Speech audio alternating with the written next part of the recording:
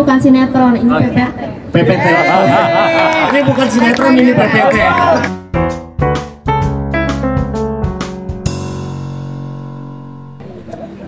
Assalamualaikum warahmatullahi wabarakatuh.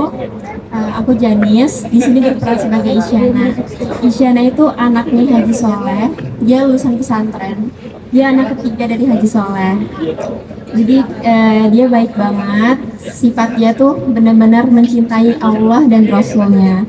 Nah, seketika itu di cerita ini dia di dia uh, disukai oleh King. nah, King itu uh, dia anak King? bang yang Ada ibu kamu. sifatnya sangat berbalik dengan Isyana. Perilaku. Nah, dari itu eh, yang bikin istimewa dari sini karena Isyana mau membantu King untuk eh, kembali ke jalan Allah.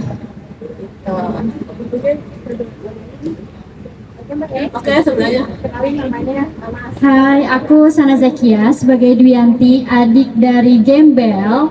Well, dia ini emotional unstable karena eh, dia itu mendedikasikan dirinya sebagai kepala keluarga di antara tiga bersaudara ini, which is gak punya parents dan ya udah gitu. Eh, istimewanya sih dia berani banget, berani banget buat eh, mengekspresikan apa yang dia nggak suka ke abangnya karena dia tuh mau abangnya bertanggung jawab atas adik-adiknya seperti itu. Oke, terima kasih. Halo semuanya, kenalin eh, saya Juan Henry. Di sini perannya jadi Jimmy. Eh, Jimmy itu temannya Dwi Yanti, eh, lagi PDKT ya. Tapi eh, selalu terhalang sama abangnya gembel.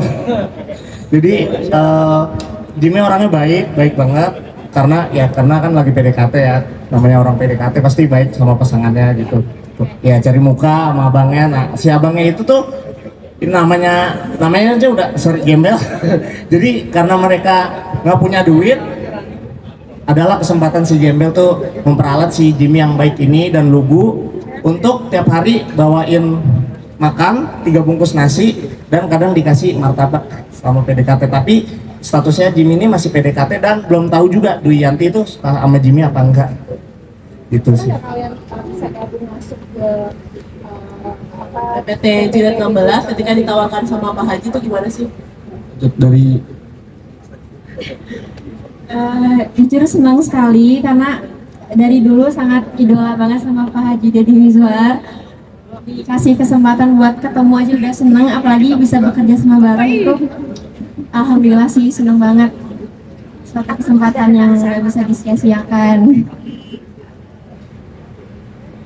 Kalau aku sih ngerasa sangat thankful karena finally Oh, iya. bisa lend a 2000. hand di project sebesar ini. This is actually my hugest achievement this year. Terus juga hmm, apa ya merasa uh, challenging juga karakternya. Terus Rambutnya segitu mbak. I learn a lot of things. I'm experience new things juga.